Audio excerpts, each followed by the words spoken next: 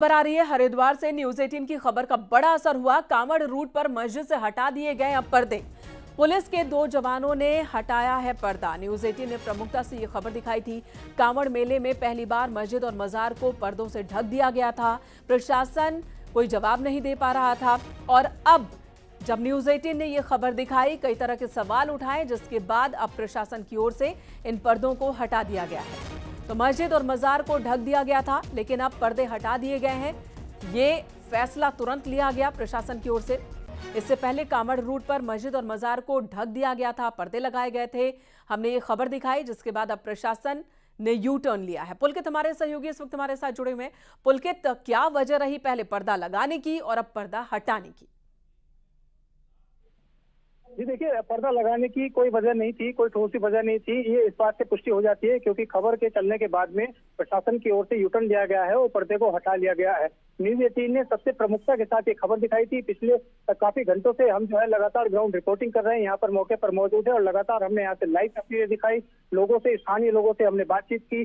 प्रशासन के अधिकारियों से हमने फ़ोन पर बात करने की कोशिश की उनकी तरफ़ से कोई जवाब नहीं आया लगातार प्रमुखता से खबर दिखाई गई जिसका नतीजा ये हुआ है कि अब से थोड़ी देर पहले पाँच मिनट पहले जो लोकल पुलिस के जो एसपीओ हैं एसपीओ यहाँ पर लोकल स्तर पर बनाए जाते हैं कांवड़ मेले के दौरान जो स्थानीय लोग होते हैं वो हम्म। पुलिस के जवान नहीं होते लेकिन वो स्थानीय लोग होते हैं और जिनका स्थानीय लोगों के साथ समन्वय होता है और कांवड़ियों को किसी तरह की कोई दिक्कत ना हो उसके लिए एसपीओ बनाए जाते हैं तो हम्म। दो एसपीओ के जवान थोड़ी देर पहले आए और उन्होंने जो पर्दा लगा हुआ था इस्लाम नगर के पास जो मस्जिद है उसका जो पर्दा लगा हुआ था वहाँ से उन्होंने उस पर्दे को हटा दिया। बिल्कुल पुलकित और इस वीडियो में हम देख भी पा रहे हैं दो एसपीओ जवान हैं जो कि हरिद्वार पुलिस उनकी टी शर्ट पर लिखा है और ये पर्दे अब हटा रहे हैं।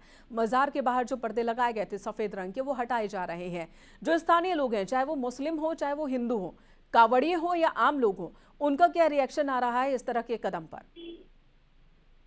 देखिए, स्थानीय लोगों का इसमें बहुत ज़्यादा किसी तरह की कोई प्रतिक्रिया नहीं आ रही है, क्योंकि ज़ाहिर तौर पर जब प्रशासन कोई कार्रवाई करता है, जो स्थानीय लोग होते हैं, सामान्य लोग होते हैं, वो बहुत ज़्यादा उसके विरोध में खड़े नहीं होते हैं। लेकिन जिस तरह से हमने थोड़ी देर पहले जब इस वक्त से लाइव किया था तो लाइव में जो मस्जिद के बगल में जो एक दुकान है, दुकानदार से हमने बातचीत की थी तो उन्होंने बताया था कि कुछ दिन पहले ये लगाया गया है, जिससे और ऑन कैमरा उन्होंने नहीं बताया, लेकिन बाद में बात करने पर उन्होंने बताया कि इस पर्दे को लगाने की वजह से उनकी जो दुकान का जो काम है, वो भी उससे प्रभावित हुआ है।